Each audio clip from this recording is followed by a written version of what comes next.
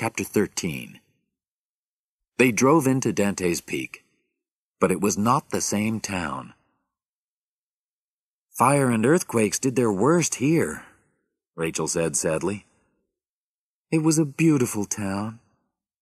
I was happy to be the mayor. They came to the river. We can't get across that, Harry said, and there's more lava coming. What can we do? Rachel asked.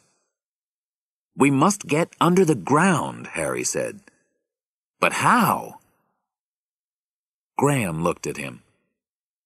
I know, he said. The mine!